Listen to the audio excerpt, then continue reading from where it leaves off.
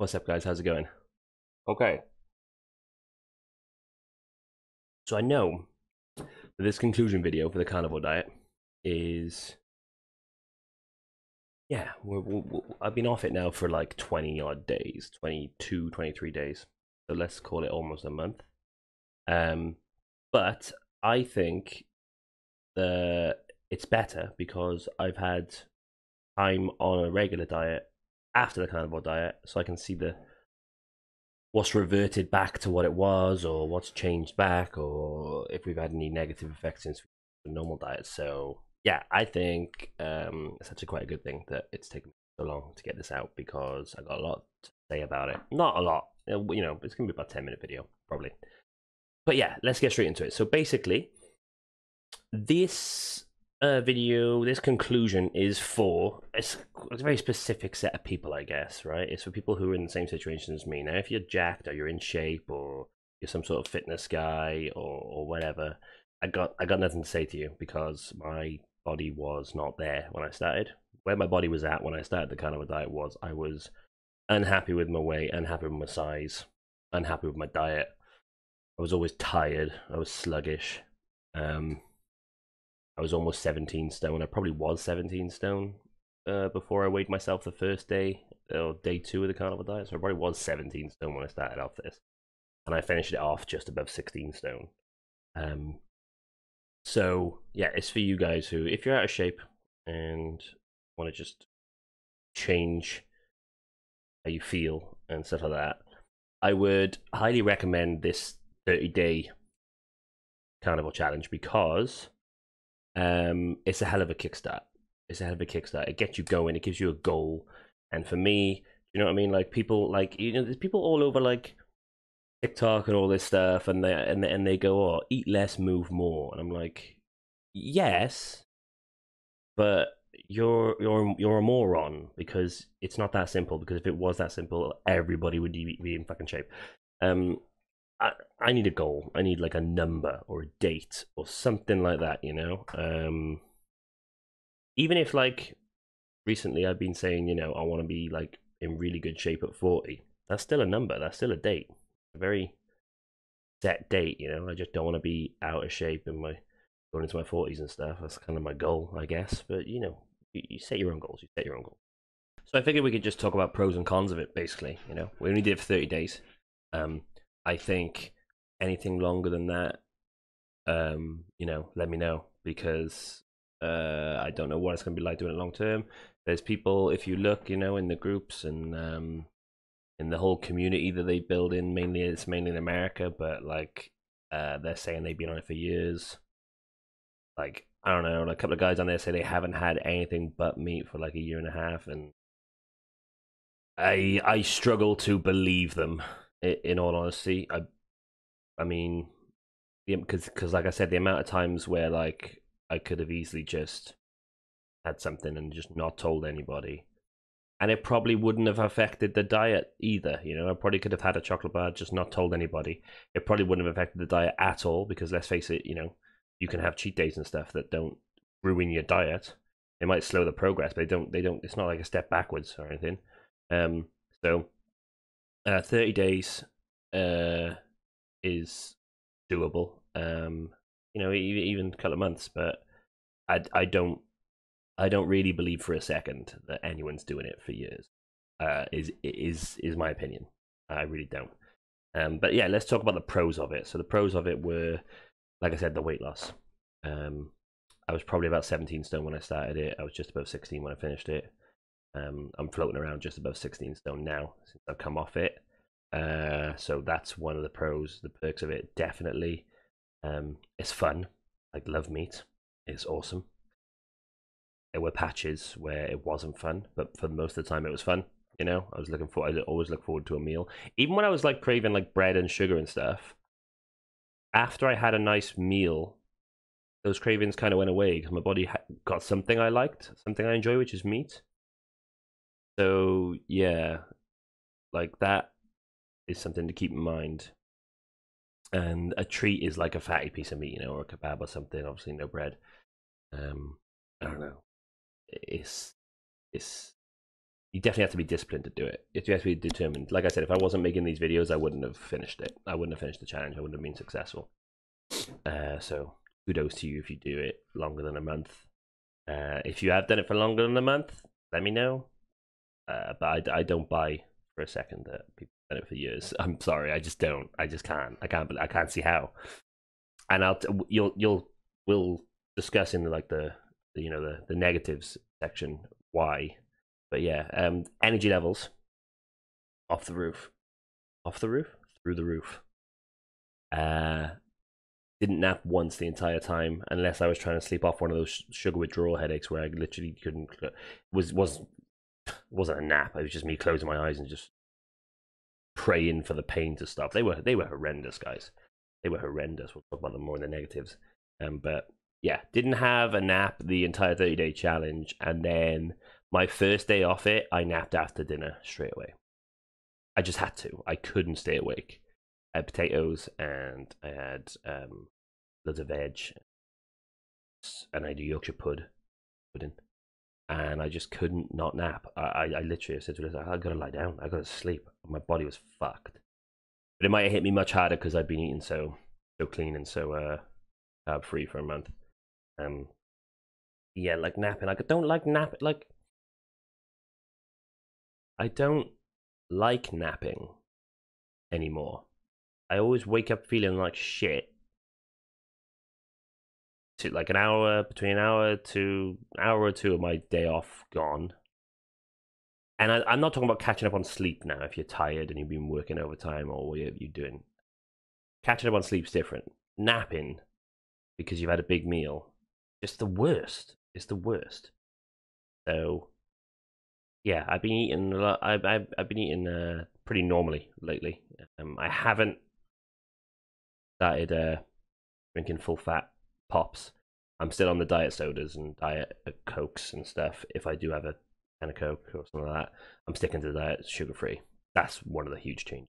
Well, um, so coming off the diet, the diet sort of the diet cokes and the diet drinks are like a treat. You know, I don't want I don't want the full fat one. The diet ones taste nice enough.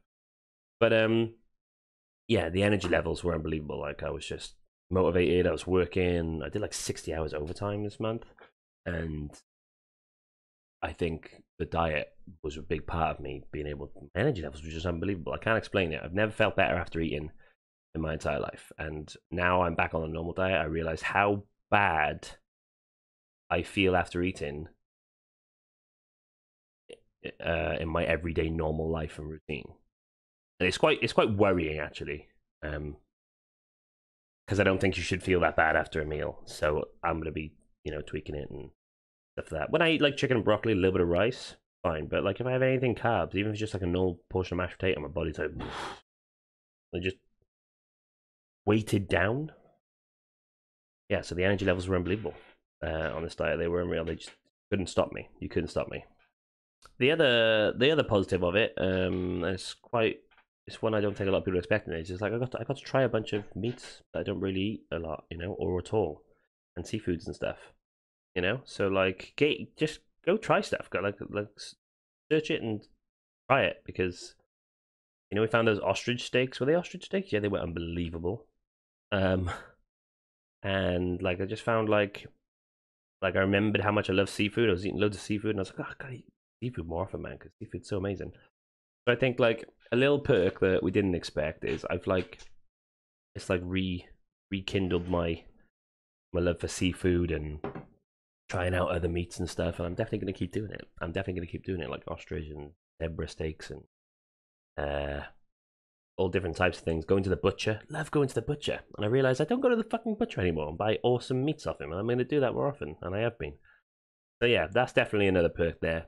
But um, I think the negatives outweigh the positives um, for this diet because it's so strict and so limited. And yeah, I'm gonna tell you why now. Let's let's talk about that. Yeah, so the first negative I've talked about a bunch of times. Uh, the sugar withdrawal headaches. They're horrendous. Now, not everyone's gonna get those because if you don't eat a lot of sugar before you take it, I imagine you'll dodge that. I'm not sure what sort of um, what other types of withdrawals cause headaches like that, but the sugar withdrawal headaches were the worst. Um, and I, they were, they were just horrible. They were just horrible, and they they were definitely the first thing I thought about. But I think I would have got those on any diet I switched to because sugar's the thing you got to cut out. Sugar's the thing I had to cut out to stop putting on weight, mainly. So yeah, they're they're gonna suck, guys, and there's no getting around them. If you're getting them, there's no getting around them. Like I said, I started eating the fruit two weeks in, as you guys know, two and a half weeks in. I mean, it did help. Uh, it did help get through the rest of the month. So that's the first negative. The sugar withdrawal headaches were heinous. The second one, second negative I'm going to talk about is how unsociable, unsocial, sociable the uh, the diet is. Like so, I uh, like uh, after a couple of times of uh, my girlfriend being like, "Oh, should we go here? Should we? Do you want to do this tonight?" And I was like, "I can't. I'm on the diet." I was like, "Jesus, this is like really this is a problem. So I had a look to see what Dr. Shawn Baker did and what he recommends for it. And he's like, I eat before I go. And I'm like, so like if they're going out for dinner or whatever, he still goes and has a drink or whatever, but he eats before he goes. I'm like, that's not a solution. That that sounds that sounds awful. That sounds shitty. But yeah, as I continue to search in the videos, people online like, yeah, I normally eat at home, and like you know, if the family are going out for dinner and stuff, I'll eat at home, and uh, I won't eat when we get there. I might have a little bit of their meat, but I won't order out or eat out. And I'm like, well, that's just the worst because fuck that. I'm not doing that. So it's one of the reasons uh, I'm not going to carry on this diet, guys. I like going out for dinner. I like going out for dinner and stuff. You know? um, I think this this diet lacks balance it lacks balance. And what it's created is community, and everyone loves being part of a community, guys. You know, like this one, the gaming one we got. I love it. It's amazing. I can't can't imagine my everyday life without it now. But and I love how the community built and stuff, and they all talk and they all send pictures of their meals and they all do this and then they all send pictures of their dogs who are on carnivore diets and stuff. And it's great, and they get that feel of community. But I think they either ignore or start to miss all the other stuff that comes with it because they're having such a good time interacting with the community and stuff. You know, maybe they weren't. Maybe they weren't very like uh, involved in any sort of community before this, and I think a lot of them get caught up in that, and it's just not. It's not viable for everyday normal life. I don't think it's not. Um, I would definitely recommend having a week or two now and again. I might do I might do another week or two every now and again myself, just to like sort of because like I said, the energy levels are amazing and stuff that. But it's so unsocial. Like even like just going for a beer, one beer, it's like or a couple of beers, three or four beers, just one night a month. It's not going to kill you. It's not going to mess you up. But while you're doing this, you can't do that. And it's like, this is the worst. This is this is a shitty diet it's not, but at those times you're like, this this is crap. I don't like this. Uh, the other, the last one is like obviously it's a bit more expensive. Our initial food shop we did, I think episode two or three or something, I was saying it's not that much more expensive, but I learned that I was I was eating so much that we were shopping more often. So like the, our our first original food shop was like not not much more expensive at all, 10, 20 pound more expensive.